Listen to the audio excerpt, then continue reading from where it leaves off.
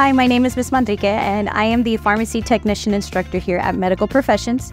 And today I'd like to invite you to see some of the new and exciting things that we have to offer our students. So here at our first station, we have our KL1 countertop counter. This counts almost any tablet or capsule quickly, conveniently, and accurately. The KL1 helps in reducing errors daily during prescription filling and physical inventory, which ultimately allows more time spent delivering patient care. Here, our student is filling and counting a controlled substance. In this case, it is required that we double count the medication in order to ensure the patient is receiving the correct amount. At our next station, we have the Pyxis.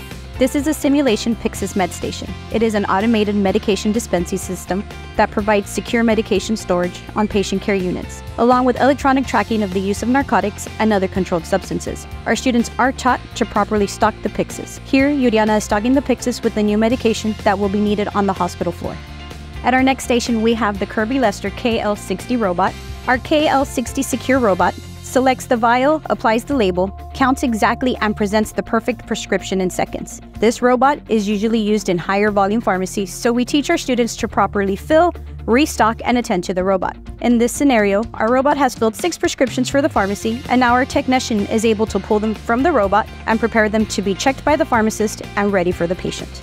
So that wraps up our tour here in the pharmacy technician classroom. Here at Medical Professions, our students do start with the pharmacy pathway their freshman year.